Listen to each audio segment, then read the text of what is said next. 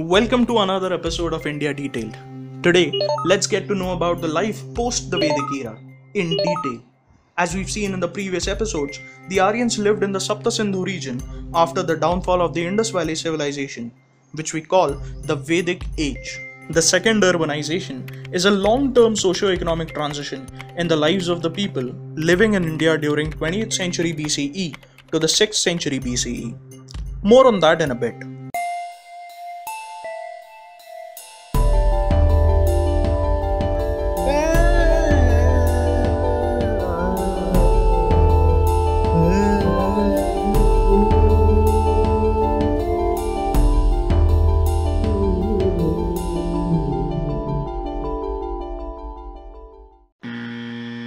Simply because it was the second time that this region underwent urbanization. Now let's take a look at the word urbanization. What does it take for a region to become urbanized? A surplus of commodities. Let's say a farmer in a village has extra wheat.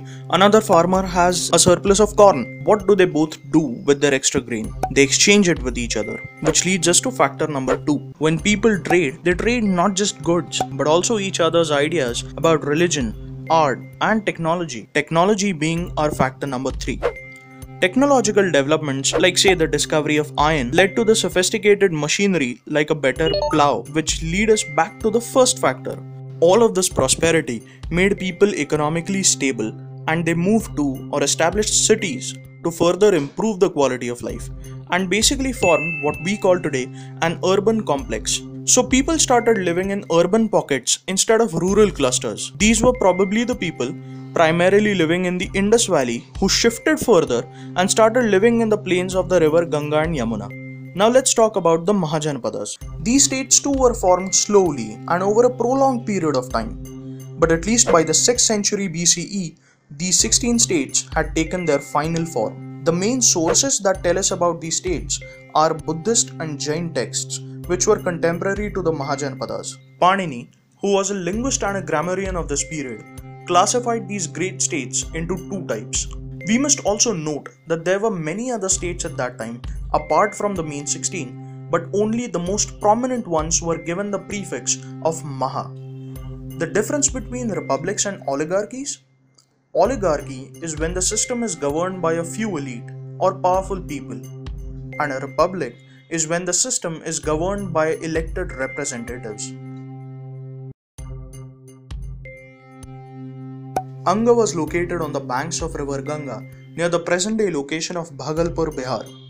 There was a natural boundary provided by river Champa between Anga and the rivaling Mahajanapad of Magad.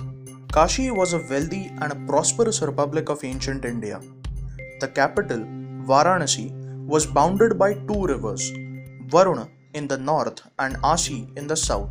Kosal was a mighty empire which was divided into two parts by the ancient river Sharayu. In the earlier stages of its formation, Kosal was engaged in a conflict with King Ajatashatru of Magad. Vriji was located in the modern day Muzaffarpur district of northern Bihar. It was administered from the capital city of Vaishali. Malla was near the present day location of Nalanda district in Bihar. Malla was eventually annexed by Magad soon after Buddha's death. Chedi was actually the name of one of the ancient tribes in India, and one of the branches of the Chedis found a royal dynasty in the region of Kalinga. Vatsa was situated on the banks of the river Yamuna. It was ruled over by the famous king Udayan from the capital city of Kaushambi. Initially a monarchy, Kuru later on became a republic and was administered from the capital city of Indraprastha. Panchal was located around river Ganga, which divided it into North Panchal and South Panchal. The famous city of Kannauj was also situated in this kingdom. Matsya is said to be located in present-day Jaipur. It was ruled over by the legendary king Virat from the capital city of Virat Nagari. Surasena was located around the banks of the river Yamuna. The Greek accounts have other names for this place. They called Surasena as Surasenoi and Mathura as Methora there's been some confusion regarding its actual location. Both Afghanistan as well as the Deccan region have been suggested as plausible sites. Avanti was an important kingdom of western India. It was ruled over from the capital city of Mahishmati, Gandhar. Its present day location has been suggested to be near Peshawar and Rawalpindi. it has been suggested that Kamboj was located near the northwestern region adjacent to Gandhar, Magad. It was one of the most prominent states of all the 16 Mahajanpads. It was administered from the capital city of Patliputra. Now, with these 16 states, there were many other small autonomous clans too. King Bimbisar is considered to be the first ruler of Magad.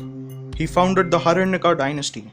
He invaded the state of Anga and annexed it to expand the territory of Magad. He was a contemporary of Mahavir and Buddha and was later probably killed by his own son, Ajatashatru. Ajatashatru also expanded his territory and annexed nearly 40 republic states and autonomous kingdoms.